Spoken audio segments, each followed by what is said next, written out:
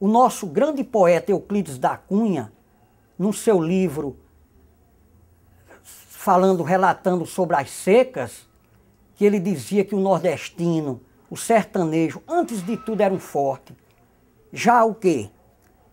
Ele já se preocupava, ele já mandava o recado aos governos que se preocupasse em fazer grandes açudes, grandes reservas, para que no futuro nossa população não sofresse tanto.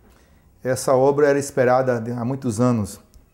E aí o governo de Getúlio Vargas né, botou isso como missão de que realmente ia dar um acalento por do Nordeste fazendo grandes obras, grandes açudes. E era para trabalhar sem cochilar. As botas ficavam dentro do serviço, lá para o cara enfiar os pés dentro e trabalhar.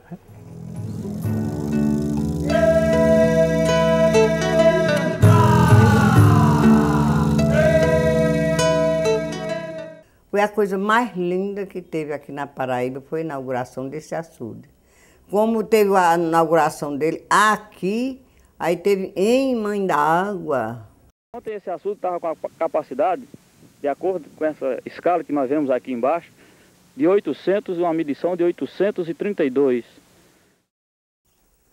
Parece que Deus quer que é para ser